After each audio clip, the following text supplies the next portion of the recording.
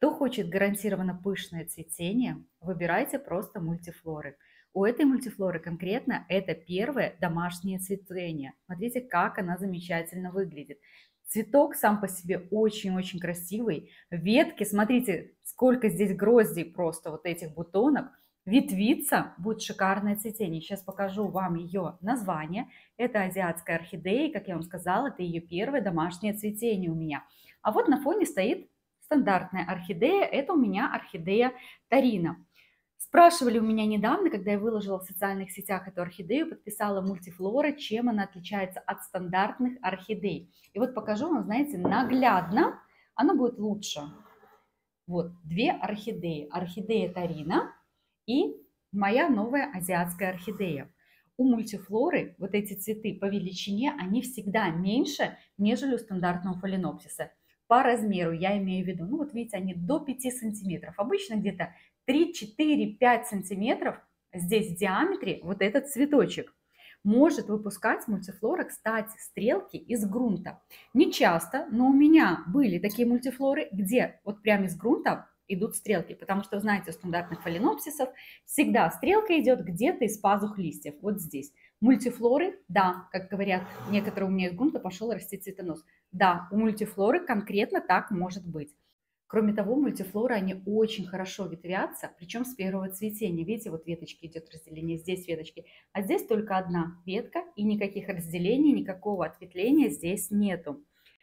Мультифлоры очень часто доращивают вот этот кончик цветоноса. То есть орхидея цветет, цветет, ее цветение длительно за счет того, что этот кончик продолжает свой рост, и поэтому орхидея постоянно доращивает, доращивает цветонос. Скажу сразу, у меня и на стандартных орхидеях такое очень часто бывает. Например, моя орхидея «Дикий кот», которая цветет у меня практически год обычно, ну, сколько, последний раз, наверное, 9-10 месяцев было.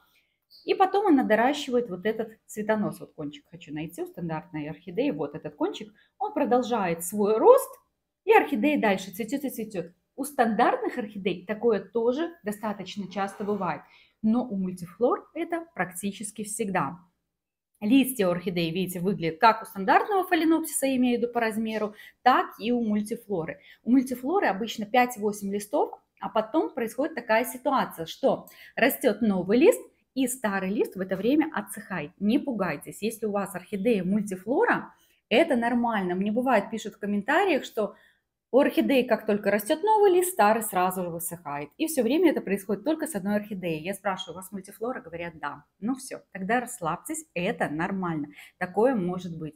Ну и, конечно, для мультифлоры свойственно это длительное цветение, в отличие от стандартных фаленопсисов.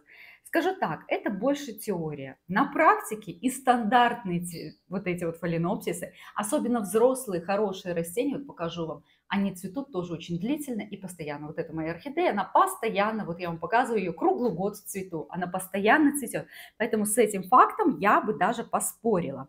Но то, что орхидея смотрится замечательно хорошо, да, конечно, это есть. Смотрите, насколько красивый фаленопсис. Выбирать стандартный фаленопсис, либо мультифлорки. Тут кто что любит, кому как нравится. Вы знаете, что я очень люблю стандартные фаленопсисы, а именно крупноцветковые. Я люблю, чтобы были крупные, крупные цветы у фаленопсисов. Это мои любимые.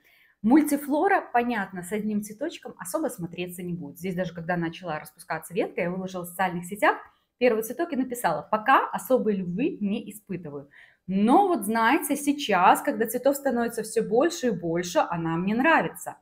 Я вам показывала орхидею каменная роза и говорила, что настолько самодостаточен сам цветок, что даже когда есть один цветок уже распустился, это красиво и захватывает дух. У мультифлор у меня все-таки, когда много цветов, тогда мне нравится. По одному я не могу сказать, что мне очень нравится. Хотя, понятно, цветок просто произведение искусства. Но вот шикарно, красиво. Вот это может придумать только природа. Ну, очень красивый, конечно, здесь цветок. Поэтому посмотрим, знаете, может быть, вот после этого моя коллекция мультифлор, она и пополнится. Но посмотрим, как получится. Потому что сейчас у меня достаточно приобретено азиатских орхидей, просто они еще не цветут, которые именно мультифлорки. Еще хочу обратить внимание. Смотрите, здесь на цветоносике, я думаю, хорошо видно, есть липкие вот эти вот капельки. Вот, по всему цветоносу. При этом на листьях, сразу обращу на это внимание, ничего нет. Это нормально.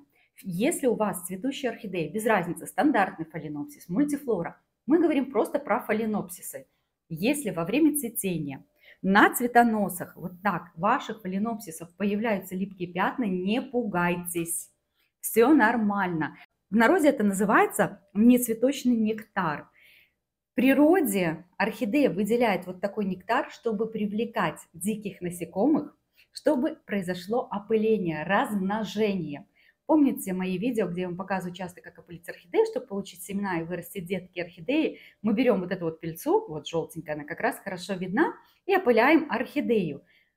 А в живой природе это делают насекомые. И вот чтобы привлечь этих насекомых, орхидея вот так выделяет вот такие липкие капельки, чтобы привлечь насекомых. Это нормально, ничего с этим делать не надо, вытирать не надо, чистить, смывать, ничего делать не надо.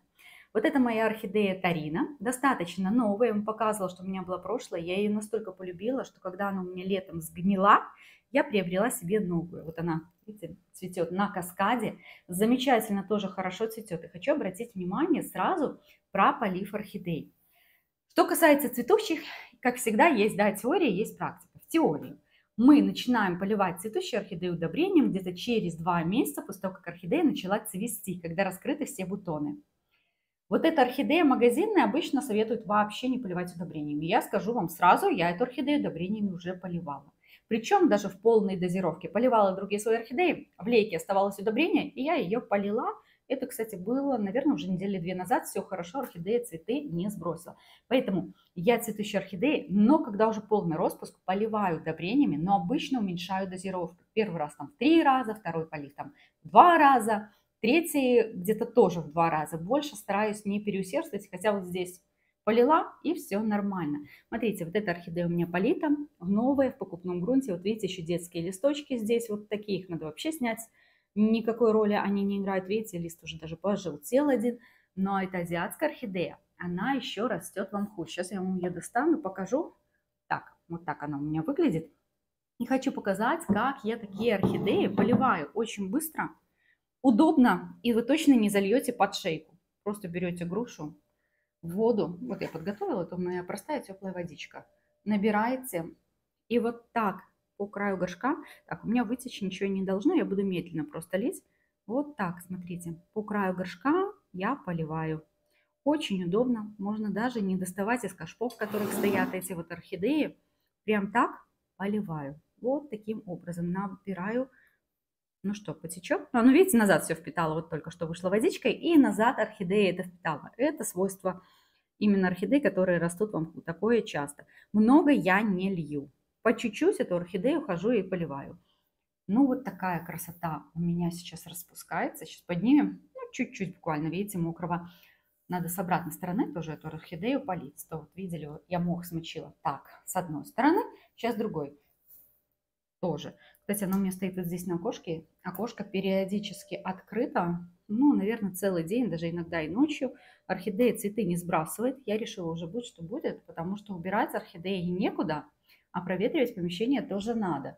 Нормально держит цветы, новые распускает, ничего не происходит. Хотя вы знаете, что бывает, что орхидеи сбрасывают цветение, вянут цветы на сквозняки. Но я заметила, если их приучаешь изначально, вот у меня орхидеи, которые стоят на окне, все нормально, я могу проветривать помещение, ничего они не сбрасывают. Так, и с обратной стороны, видели, полила. Растут корни, видите, вот в стадии роста как раз, ну что, немножечко. И вот так возвращаю. Ну, это я вам достала показать. Я говорю, обычно это я все делаю в кашпо. Я даже не достаю эту орхидею из кашпо.